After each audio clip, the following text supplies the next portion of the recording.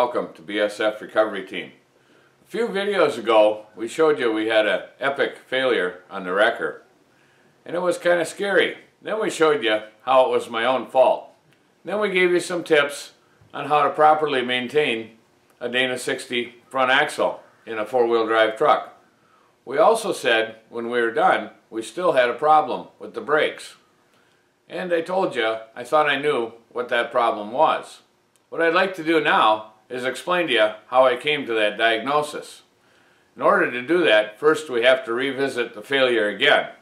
So let's take a look. I started climbing the hill and right about here you can uh, hear the rear dualies spin out. That tells me that that's when the failure happened.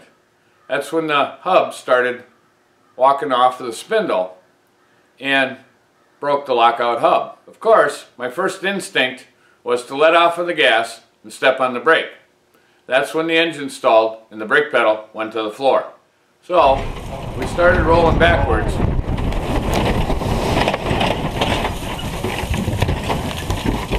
Of course, I stepped on the brake pedal again and it still went to the floor. Okay, why did my brake pedal go to the floor? Well, on a Dana 60 axle, you have your uh, brake anchor here, and uh, the inner pad just floats in the brake anchor like this. And uh, of course, this surface here is held in place by the rotor, and this surface back here by the caliper.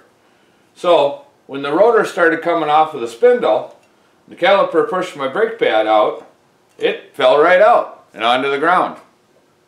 My caliper had to extend quite a bit further, letting my brake pedal go all the way to the floor.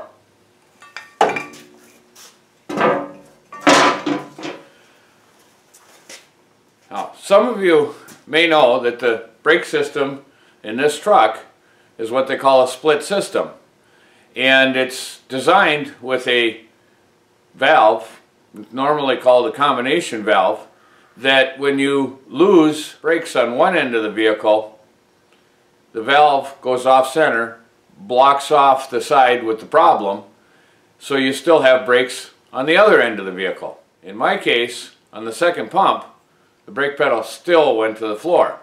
Why didn't our combination valve do its job on the second pump? and turn the red brake light on and block off the front brakes so we still had rear brakes? Well, that's our first clue as to what's still wrong with the brake system in this truck. You see, in order to do its job, the combination valve needs to sense brake pressure on at least one half of the system. Some of our other clues are that even though the brake caliper overextended, the piston didn't extend far enough to create a leak. And I inspected the truck and found no other leaks in the system. Full of fluid. And our last clue, of course, is even though I put the brakes all back together, I still couldn't pump them up and build any pressure. Well, that leads me to one conclusion, that my master cylinder failed.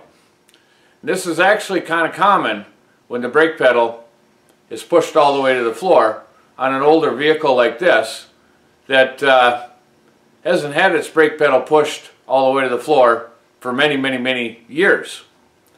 And that is they build up a little bit of a ridge inside the master cylinder where the piston stops all the time. And when my caliper overextended and I pushed the brake pedal past that point where it normally stops, it ruined the piston seals in the master cylinder. And then the master cylinder will no longer build any pressure. It develops an internal leak. Part of the reason I know this is I have a brake pressure gauge in the truck.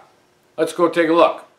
Here's our brake pressure gauge. If you watch, when I press on the pedal slow, it doesn't move and the pedal goes right to the floor.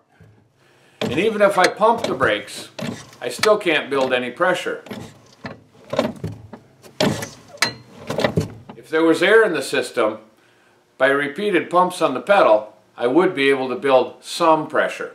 So that tells me that my master cylinder has failed. We have to replace it. Fortunately, the one on the old broken wrecker is relatively new. So we're going to go steal that one. And I have some tricks of the trade to share with you on replacing a master cylinder. When replacing any major brake component, the biggest difficulty that most people have is bleeding the brakes. In the case of replacing a master cylinder, that all starts with proper bench bleeding. If you notice here, we have the master cylinder set up in a vise on the bench. And we have a bench bleeder kit set up on the master cylinder. Master cylinder is full of fluid. And now what we do is we stroke the master cylinder, pump the fluid through the lines back into the reservoir. The proper way to do this is with nice, slow, even strokes. And the biggest key is you have to do it until all of the air bubbles are out of the lines. Even the little teeny tiny ones that you can barely see. If you do it too fast, you'll aerate the fluid and then it'll take forever to get all the air out. Now, with the master cylinder properly bench bled, we can put it on the truck. We'll leave the bleeder kit on until we're ready to hook up the lines. Now that we have our new used master installed, the next step in the bleeding process is to bleed it right here at the lines. So again, nice, medium slow, even strokes are what's required. Loosen the line up just a little bit and then Jeff will you slowly push down the pedal and hold it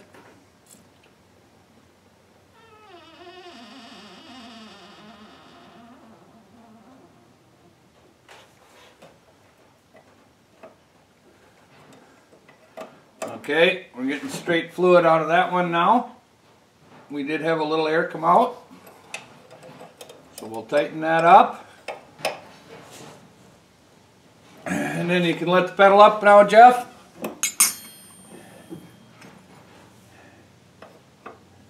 Now we'll bleed out this one. Open it up just a little bit.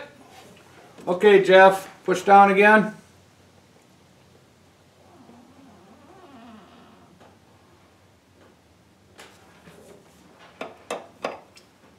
Okay, we got lots of air out of that one. We'll have to do it again.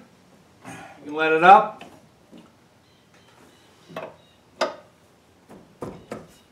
Push down again.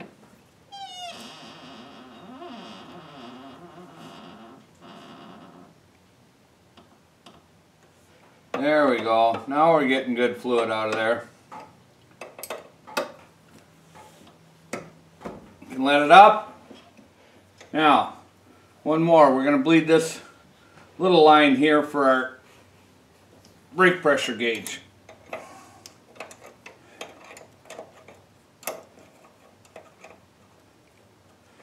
Okay, push down again, Jeff.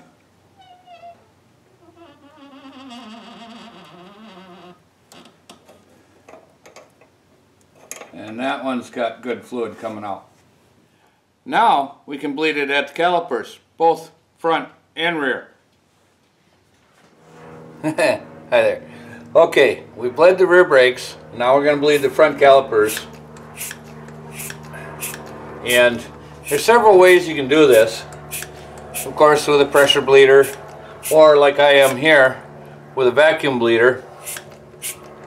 You can also use the two-person method, one on the brake pedal and one down here on the bleeders.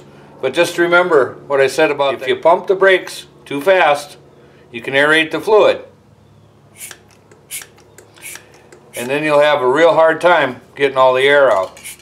One little tip I've learned about vacuum bleeding the brakes is when you pull the vacuum away, sometimes you can get a little air that sucks back into the bleeder. So it's a good idea to let it gravity drip a little bit before you close the bleeder.